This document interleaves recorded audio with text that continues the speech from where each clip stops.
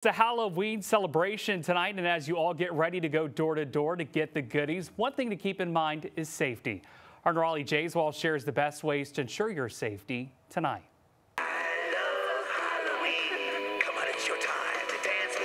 As neighborhoods start filling up with costumes and candy, it's important to get the treat and not the trick. Uh, everyone doesn't have great intentions, and so let's just be safe and look out for the well-being of, of our children.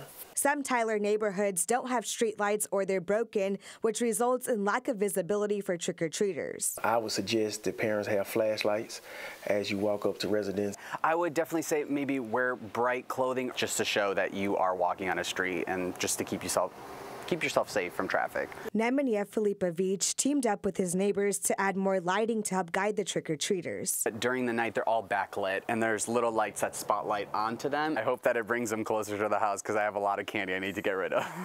He's even taken the time to make his own decorations and goodie bags to hand out to the trick-or-treaters. Walk up to the door with your children just to make sure uh, everything is safe. Check the candy.